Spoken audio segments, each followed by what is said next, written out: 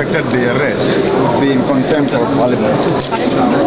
Whoever effected the arrest of uh, the arrest of this would be in contempt of parliament. The position is analogous to uh, the court. No arrest can be made uh, in the precincts of a court. Likewise here. So what has happened clearly is uh, something unprecedented. And we hope that the speaker will take this very well. In fact, we met up with the speaker just now. He has promised to take it up with the IGP. And uh, we hope that uh, something positive will come out of uh, this uh,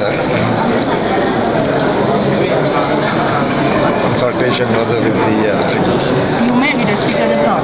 yeah, we met up with the speaker. Met up with the speaker. Yeah? Speak Tan Sri Ramli, yeah. Speaker Tan Sri. You think whoever made the arrest here is in contempt of Uh, parliament? we are saying it's contempt of parliament, but the uh, speaker said he will take it up with the IGP. And before he does so, I think uh, we on our, uh, on our part are quite clear that it's contempt. Contempt of parliament. Yes. You are looking into the court order as well. Yeah, we are looking into uh, whether the uh, order which was made by the magistrate is in fact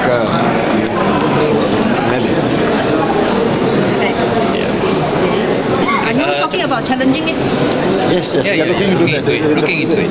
With a view to challenging it, of course. Uh, kat one here lah. Kat one. You know, yeah. Uh, can I answer something? See something?